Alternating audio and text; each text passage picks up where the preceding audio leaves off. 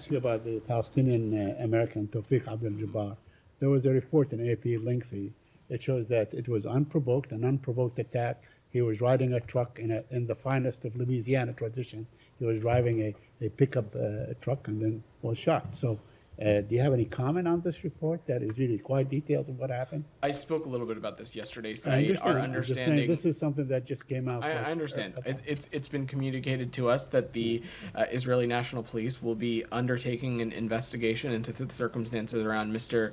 Um, uh, Jabbar's death. Uh, as I said yesterday, our hope and expectation is that that investigation is uh, conducted uh, expeditiously. It's conducted in a thorough way, and we are eager to hear the findings of that investigation. Um, till that time, I'm just not going to comment or opine on the circumstances uh, around his incredibly tragic death. Um, meanwhile, we will continue to offer all appropriate consular services uh, to his family uh, through our embassy in Jerusalem, through the Office of Palestinian Affairs.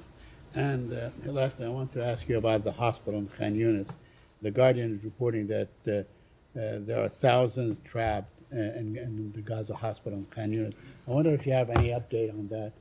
Uh, if you could, if you tell us what what's going on, what is the United States government is doing to alleviate whatever's you know this humongous suffering.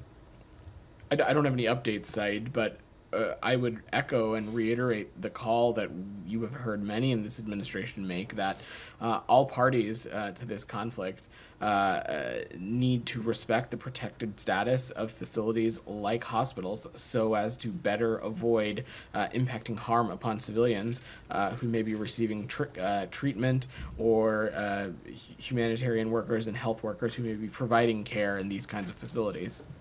Uh. Michelle. Yeah, I have a,